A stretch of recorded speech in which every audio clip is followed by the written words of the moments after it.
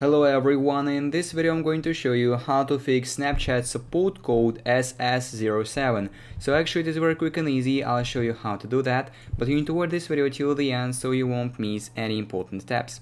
So first of all I'll tell you that this problem may appear because of you using the older version of Snapchat. So first of all you need to open App Store on your device or Play Market depends on what type of device you are using and here in the search bar you need to search for the Snapchat. So find Snapchat in the list of applications and click on it. And if you see the update button like me here, it means this app needs an update. It means you are using old version of this application. It is not recommended because there may be some bugs and the support code SS07 is not an exception.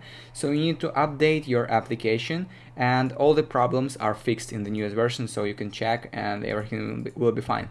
But if the problem persists, uh, you need to open the settings on your device and here scroll down a little bit until you will find general with a little gear icon. Click on it. And go to iPhone storage to see everything that is stored on your device. Here you will be the list of applications. You need to scroll down and find Snapchat. So here it is. Simply click on it and now we will need to offload app to delete the cache of this application because cache may be the reason why we get this type of problem. So simply click on offload app and then confirm the action clicking on offload app again and then reinstall the application from the same screen and now you can check if the problem is gone or not. And basically that is it, that is how we can fix Snapchat support code SS07.